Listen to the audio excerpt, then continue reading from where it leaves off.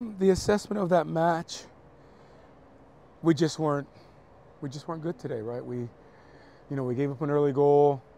We fought back to get a nice goal from Medi, um, and then we gave a late goal after the water break. You know, I was hoping that we get one, one, one, one at halftime so we could make the, the, the real big adjustments that we needed to make. You know, we made some adjustments in the second half, and then we, um, you know, we're, we're more dangerous. Was more, we're pressing higher up the field, and you know, we got back in, and then we give away the goal. It's just, you know, just feel like we weren't good enough in the moments to press. We weren't good enough in the moments to. Uh, we weren't good enough the moments to press. We didn't keep the ball well enough, and we've been struggling keeping the ball for four or five games now. And that's our like.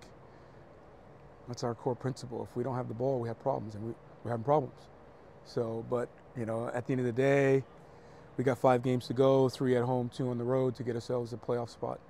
You know, and it's still tight enough that we could finish in a decent position, but we just got to pick up points.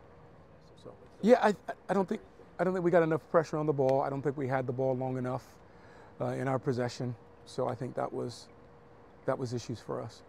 So, yeah, there's some positives, right? I mean, Medi gets a nice goal. Milo worked hard.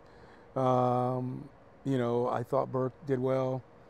Uh, so, I mean, I think I think there's some positives in, in those areas. So, well, the, the, game's important, right? Number one, you come off a game like this, you want to get the confidence, you want to get, you want to play well, you want to play well for the fans, you want to do a lot. So, um, yeah, I mean, I think it's one of those things where we just come and look to get ourselves going and, and pick up the points that we need.